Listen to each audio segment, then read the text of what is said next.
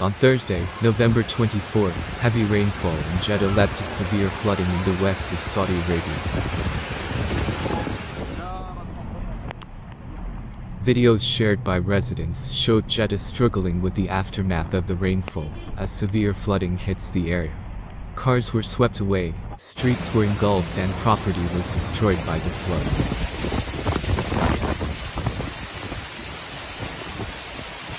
Allah الله الله الله الله, الله هذه امواج شوف سياره تنسحب تو العين دوس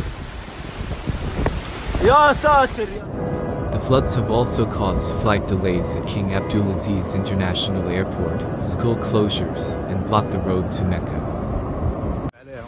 Most residents were forced to stay indoors as they watched water levels rise steadily outside their homes, while most streets remained flooded.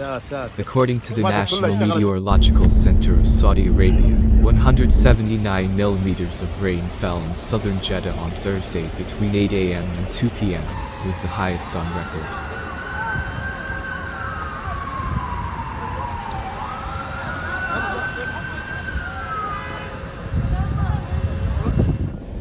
Traffic resumed on the Makkah-Jeddah Expressway in both directions after disruption for many hours. Saudi Civil Defense Agency issued a weather warning amid the extreme weather conditions, advising motorists and residents to be wary of conditions. Winter rainstorms and flooding occur almost every year in Jeddah, where residents have long decried poor infrastructure.